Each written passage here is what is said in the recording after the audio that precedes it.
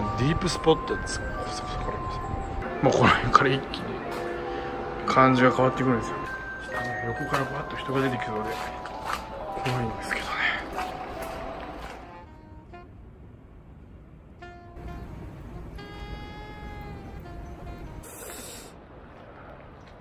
はいやってまいりました。もうね夜12時を過ぎて、えー、今ね岡山駅東口のね前にあるそのいわゆる、えー、ホテル街にやってきたわけですがそうですね、まあ、全然人がいないんですけどね。12時過ぎたらね人がね一気にいなくなる岡山なんですよね。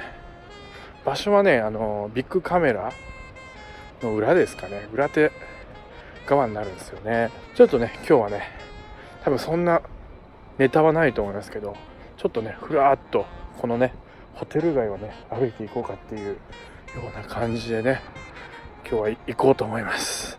それではスタートです。ビジネスホテルとかが多いんですよね。東横イン。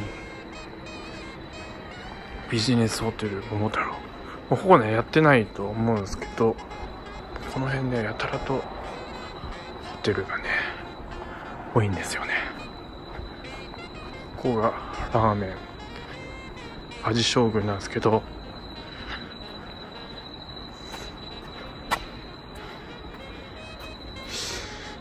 閉店4月まで中はねそのまんまなんですけどね。閉店ですね。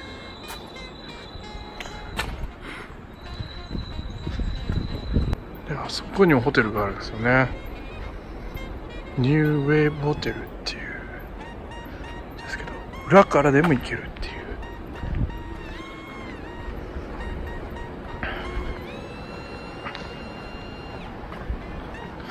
ここは結構華やかな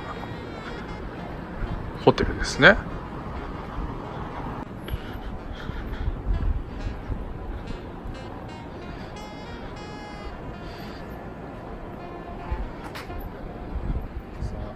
5時ぐらいまでねやってるポークラーメンですね。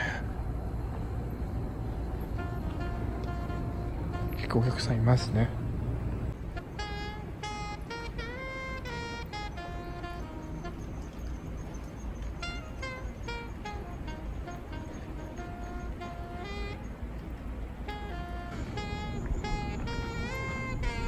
朝食無料サービス。ビジネスホテルですねここもねはい岡山駅のね通りに出たんですけど車もないですね。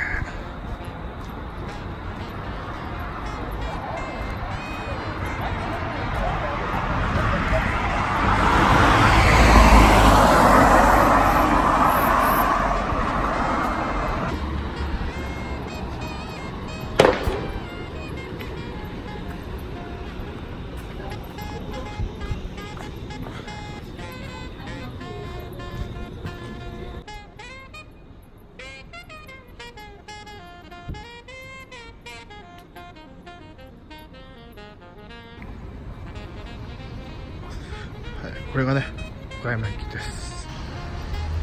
これ三好の有名なねお弁当屋なんですここはこれ初めて知りましたね。いつの間にかできてますね。メロンパンの。チケットセンター。レトロな感じで。えー、東京往復が。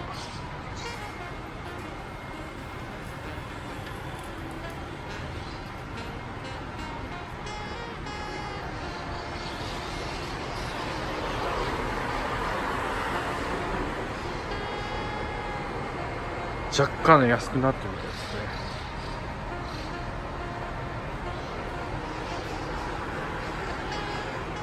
さあちょっとねお気になったディープスポット。です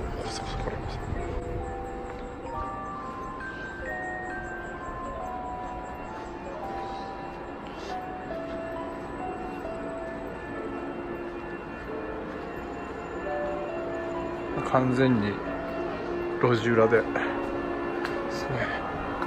えー。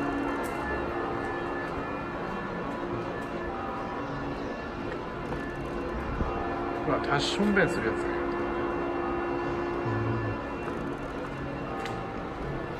多分ねこれ普段は多分パチンコ屋とか多分だったはずと思うんですよねここ。もうこの辺から一気に感じが変わってくるんですよね。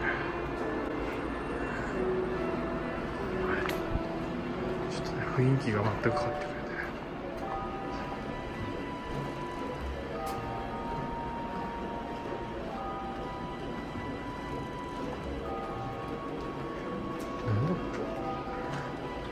こ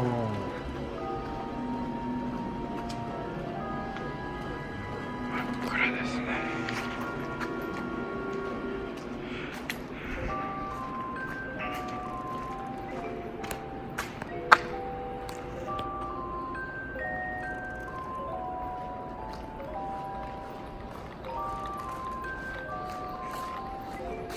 おお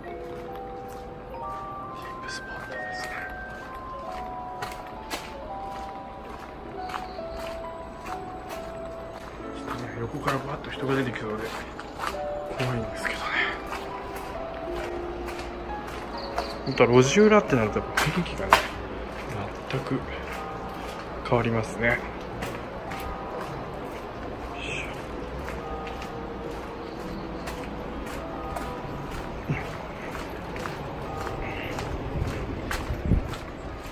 ちょうど雨が降ってきました。お疲れ様でしたね。今日今回はねこういう感じでさせてもらいました。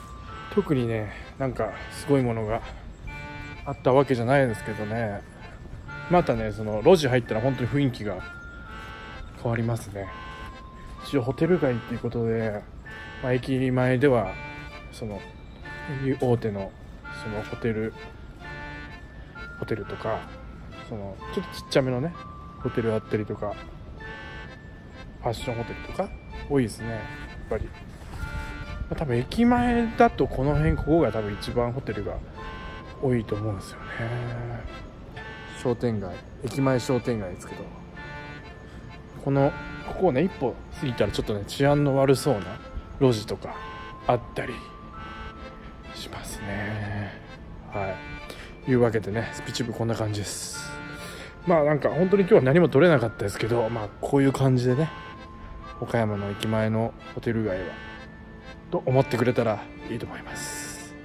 はいというわけでまたスピチューブの方もねよろしくお願いします。それでは皆さんありがとうございました。またねこの動画をいいと思ったらグッドボタン悪いと思ってもグッドボタンチャンネル登録もよろしく。